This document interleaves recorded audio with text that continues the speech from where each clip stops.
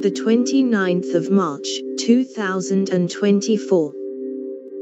U.S. President to head to Baltimore after city's bridge collapse.